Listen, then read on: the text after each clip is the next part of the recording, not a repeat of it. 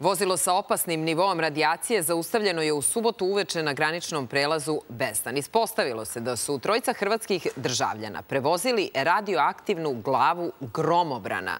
Svi su uhapšeni i određen im je pritvor do 30 dana. I to zbog mogućnosti bekstva. Devet srpskih policajaca i carinika koji su učestvovali u pretresu vozila upućeno je po preporuci stručnjaka iz instituta Vinča u Somborsku bolnicu na posmatranje. E, mnogo pitanja mi imamo sad. Šta je glava gromobrana? Koliko je ona radioaktivna? Koliko je opasan nivo radijacije? Da li su u opasnosti bili samo policajci i carinici koji su učestvovali u pretresu vozila ili svi koji su bili okolo? Dakle, u goste smo pozvali čoveka koji zna sve o tome. Doktor Slavko Dimović, pomoćnik direktora za e, radijacionu i nuklearnu sigurnost i bezbednost instituta Vinča. Dobro jutro i dobrodošli. Dobro, hvala što ste mi pozvali. Hvala mnogo što ste došli, zato što uh, mi se čini da, da nam ništa nije jasno. Dobro, ću vam jasno. Ajde, sve, sve ćete da nam objasnite. Jeste. Prvo mi recite šta je glava gromobrana? Glava gromobrana je jedan aktivni deo gromobranske instalacije koja je poprilično velika i ona jeste veličine nokta i sad u zavisnosti koji je izvor, da li je to europijum, da li je to kobalt, ovaj, ona ima svoju prirodu zračenja, kao što ima svoj intenzitet zračenja i može biti e, opasna ukoliko dođe u kontakt sa ljudima i životnom sredinom. Čekajte, ona je radioaktivna pa je radioaktivna? Ne, ona je jedan deo gromomranske instalacije radioaktivan. Znači, ti su gromomrani bili ugrađivani 60. i 70. godina na ovaj, grovove zgrada. I poslije toga je nastupio taj zakon o zaštiti od ionizujuće zračenja 1991. godine, gde je zabrana upotrebe da se oni dalje koriste. Onda su nova tehnologija došla da se koriste sada ne radioaktivni gromobrani. Znači oni su zamenjeni svi? Tako, oni su trebali da budu svi zamenjeni, ali onda su došle te lude 90. kada su bile takve kakve su bile. Pričamo sada, izvinite, o zakonu na nivou cele Jugoslavije. Mi pričamo o 91. Znači tada je bila još uvek nama zajednička država i onda su došle te, onda se te u stvari implementacija tog zakona zbog tehničkih razloga je više puta odlagana i tako da danas postoje procena da ima negde oko 800, među 800 i 900 takve vrsta gromovrana. Gde? Uglavnom na poljoprivrednim kombinatima i na društvenim preduzećima iz doba SFRJ-a koji su u stečaju, a pošto je njihova zakonska obaveza da i oni skinu, a oni nemaju sredstava niti zakonskog predstavnika, i imate 20% otprilike gromovrana u malo siromašnijim delovima Srbije na zgradama koji su zato u vlasništu stanara. Privatnih lica. Tako je.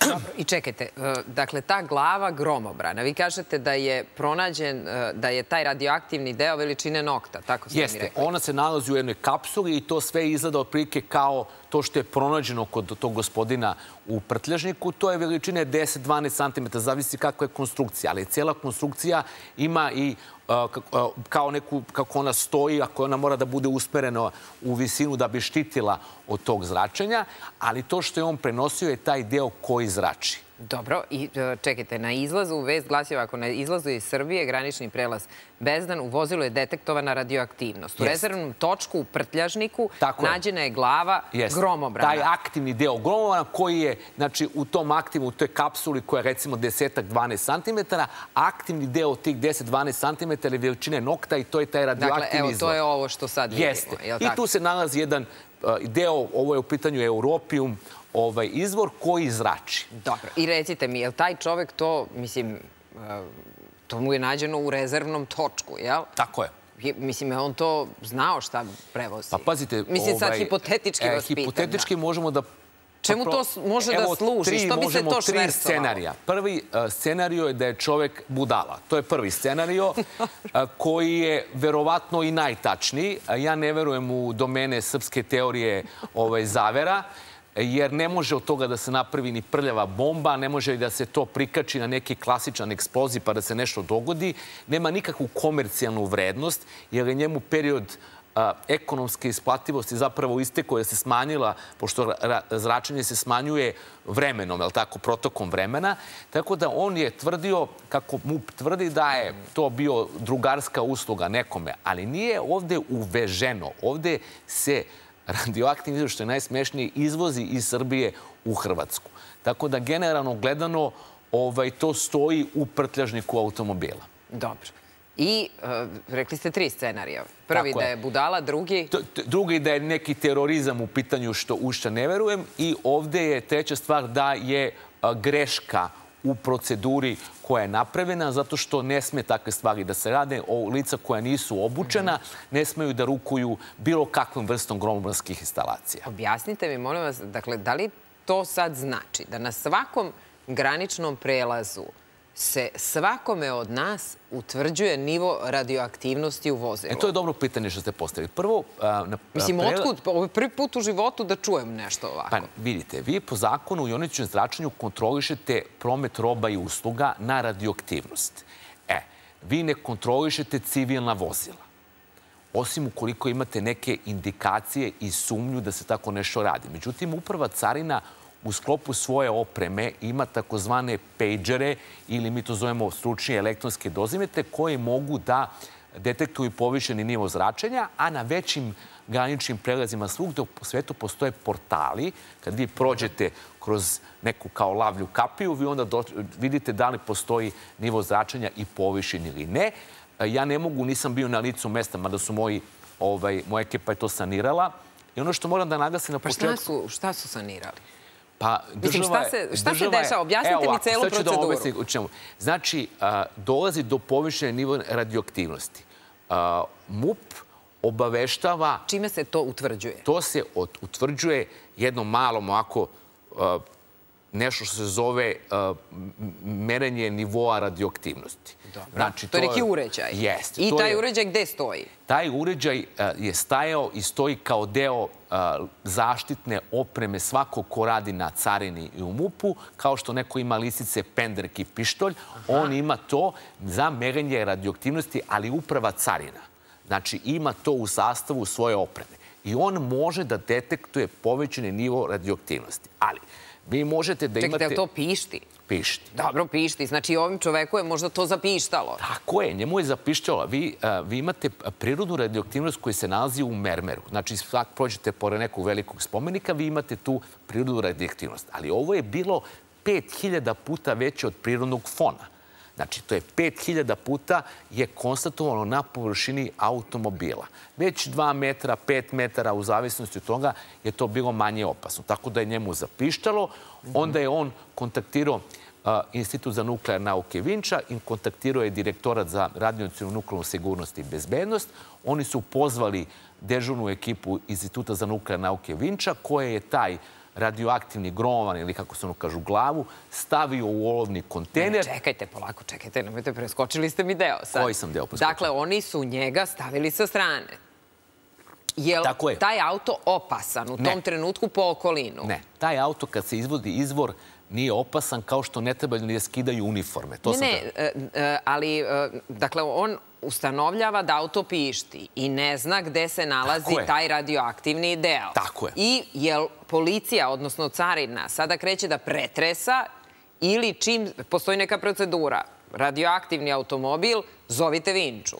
E, ne, zovite inspektorat, odnosno direktorat za radiociju nuklearnu sigurnost i bezbednost, koji onda izlazi na teren i onda on kontaktira ovlašćenu kuću koja je, ima najveći broj eksperata, a to je Institut Vinča. I vi ustanovljavate da se to nalazi u točku, da je to malo mi prvo, nešto. posle izolacije tog automobila, znači da niko ne prilazi tu, Dobro. mi onda a, dovodimo stručnu ekipu koja detektuje gde se izvor nalazi, onda znači taj izvor uzimamo, stavljamo ga u specijalizovani kontejner olovni, koji onda više ne zrači po okolinu, stavljamo ga u specijalno vozilo koje se služi za transport opasnih materija i onda tako nosimo u javno preduzeće Nuklearni objekti Srbije koja ima licencu za skladištenje izvora zračenja. Dobro, a gde, mislim, na kojoj lokaciji je ustanovljeno da je to tako malo?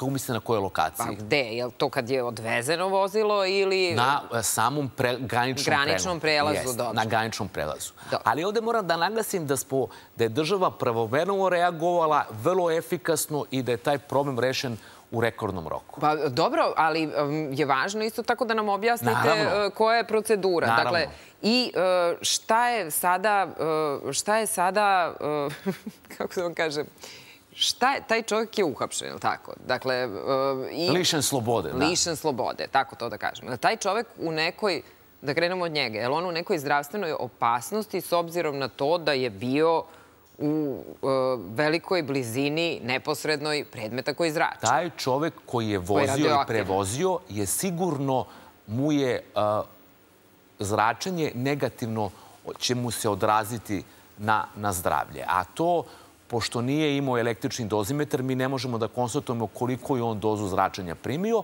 Mi možemo da odemo i da ga odvedemo na lekarski pregled, da mu se urade mikronukleosi i hromozomske aberacije, da se vidi da li ima prekid DNK lanca, da mu se pogleda krvna slika i tako dalje i da na osnovu toga možemo da konstatujemo, ali po pretpostavci on nije primio letalnu dozu zračenja, a da li će imati neke, što mi volimo da kažemo, stohastičke negativne efekte. Vidjet ćemo, po, vidjet ćemo. To će vidjeti i on. Odnosno, ne samo on, jer je bilo tro, uh, tri, Tako je. troje ljudi Ali je bilo treba da se konstatuje koliko se vozio, da li imao pauzu, kako je bio položaj tela i tako dalje. Sve to zavisi. A sve to ima veze, Tako je. Znači, tako. onda je ugroženiji ovaj što je sedeo na zadnjem sedištu nego oni na prednjem. Tako je. Jer je bio bliže izvoru. Tako je. Dobro. A recite mi šta je sada sa policajcima i carinicima? Dakle, oni su upućeni na pregled, Dobro. otpušteni e, i u kolikoj su oni opasnosti bili s obzirom na to da su bili ipak u neposrednoj blizini automobila? Evo, ja ću da vam objasnim koji su. Oni nisu bili ni u kakvoj opasnosti. Ni u kakvoj, ja? Prvo, zato što je zatvoren izvor zračenja, znači to je ograničeno na gamu, nema nikakve kontaminacije, nekog raspršavanja, mogućnosti da su oni nešto... Što znači, izvinite, ograničeno na gamu? Te gama zračenje. Gama zračenje se ne vidi, znači nema mogućnosti da se nešto kontaminira telo, da vi nešto udaknete i tako dalje. Vi imate prodor gama zraka, ako imate recimo olovnu košuljicu koju oblačite kao kad radite mamografiju ili imate, radite one zube kad snimate, vi ste, ili kičmu ili tako dalje, vi ste uvek izloženi nekim zracima. Da li su to X mhm. zraci, da li su to gama zraci i to uopšte nije toliko opasno Jer ja mogu da vam kažem da recimo vi u Iranu imate 200 puta veću radioaktivnost bilo gde nego u Srbiji. Imate kad letite 6 sati, 12 sati avionom, vi ćete primiti kosmičke zrake više nego što su ti policajci primili za tih 12 sati koliko su bili u neposrednom okruženju tog izvora.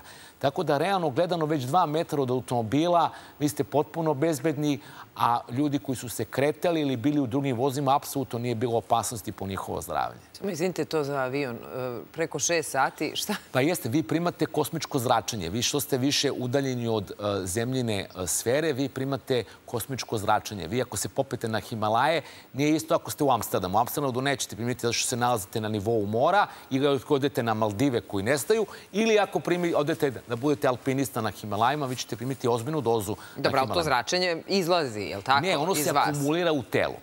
I neko može da bude manje ili više rezistentan na zračenje. Znači, ima teorija čak da je zračenje pozitivno se odražava na e, imunni sistem i na zdravstveno stanje. Ali, Stvarno? Da. Da, ali mislim, mora malo da se demistifikuje ta stvar. Nije to toliko opasno. Pa zato vas i pitam, zato što se nama ovo učinilo da je nenormalno opasno bilo i po policiju, i po carinike, i po te ljude koji su prevozili. Apsolutno ne. A onda, pravo da vam kažem, sad kao mali veličine nokta... Nema veze koliko je veličina. Vi ste imali Nema veze, ja? Imate aferu onog čuvenog, ja sam mu zaborio ime KGB agenta koji je tako mali taj izvor spakovo u, u, u neki privezak koji je poklonio da li nekoj devojci, supruzi ili nemam pojma kome i on je to okačio i onda je umro od posledica radioaktivnosti koji je nosio, ali se to ne vidi. Znači, to je komad metala, vi to ne vidite da to zrači. Vi to možete samo da detektujete ovaj, nekim brojačem. Mhm, znači nije ni važno uopšte veličina, je li tako? Dobro. Ali sve u svemu, dakle, ovde e, nije ništa opasno se desilo. Ne, ovde je država reagovala stvarno onako par excellence. Dobro, i be, bez obzira na to što pričamo da je e, sve to procedura i to što je vozilo držano 24 sata na graničnom prelazu, dakle, to je sve spada u... To je deo procedure e, kada imate osnovanu sumnju ili kada vi detektujete. Naravno da vi nećete da, da, da kontrolišete ako je neko otišao ne znam, i kupio neku hranu, ali vi hranu kontrolišete na radioaktivnost, vi kontrolišete granit, mermer, vi recimo u kućima koje imate, na primer, kamin, kamin je pun radona, znači imate prirodnu radioaktivnost svuda oko nas. Tako da, ali ovo je veštačka radioaktivnost, znači koja je prevaziđena i koja se više ne koristi. Ima tih 890... I koja je opasna. I koja je opasna opasna. ukoliko ne stoji na krovu zgrade i ukoliko a, neko ko se bavi sekundarnim sirovinama ne pada mu na pamet da sam testeriše gromobrane zgradama, pošto se i to događa. Dobro. I onda to se prodaje u otpadno gvožđe.